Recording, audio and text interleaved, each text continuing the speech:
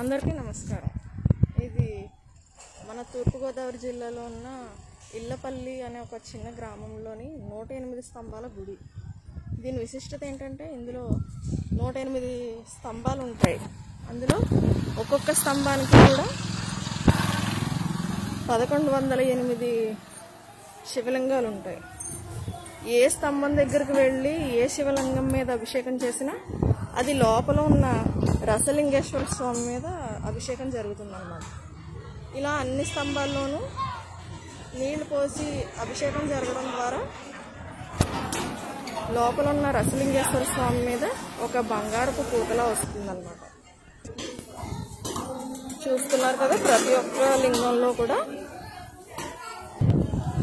ప్రతి ఒక్క స్తంభంలోని కూడా ఒక్కొక్క లింగం ఉంటుంది. అలాగే ప్రతి ఒక్క స్తంభం మీద పదకొండు వందల ఎనిమిది లింగాలు ఉంటాయి ఇంకా అభిషేకం చేస్తారు. ప్రతి ఒక్క లింగానికి కూడా. నెక్స్ట్ మనకి ఇలా లోపలికి రాగానే మనకి వినాయకుడు దర్శనమిస్తాడు.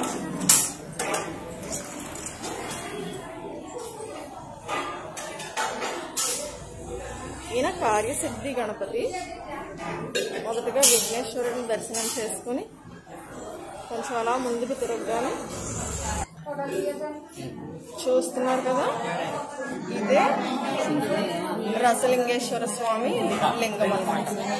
మన సర్పం నోట్లోంచి అక్కడ చేసిన అభిషేకం చేసిన నీరంతా కూడా ఈ సర్పం నోట్లోంచి ఇలా వస్తాయి. ఆ లింగం మీద నూట ఎనిమిది ధారలుగా పడతాయి.